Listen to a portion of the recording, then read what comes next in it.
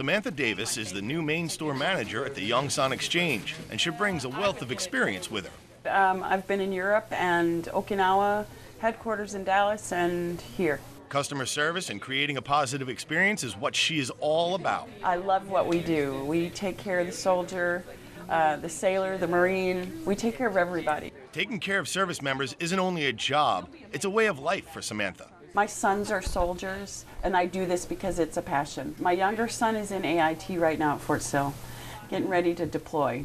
So, Samantha's sons aren't the only family members that have deployed. when you're downrange and you can give those guys that cold beverage that they can't get except for back home, oh my gosh, there is nothing better.